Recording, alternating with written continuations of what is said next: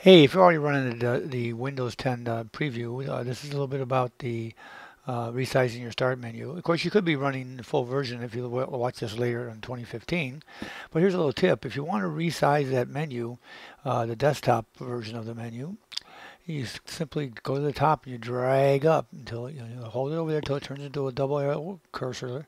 Drag it up and you see it automatically resizes for you. And uh, you can't resize it from the right. Well, instead, what you do is you grab the top again and you pull it down and it resizes as low as two rows in the bottom.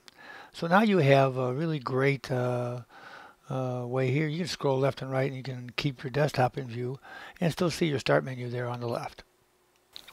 Hey, for more great tips from Old Guy Geek, don't forget to subscribe. Uh, share it with your friends on Facebook or Twitter. Uh, take a look at our playlist, Windows 8 playlist, Windows Phone 8 playlist, and a general how-to, and of course our latest uh, feature video. And thanks for watching.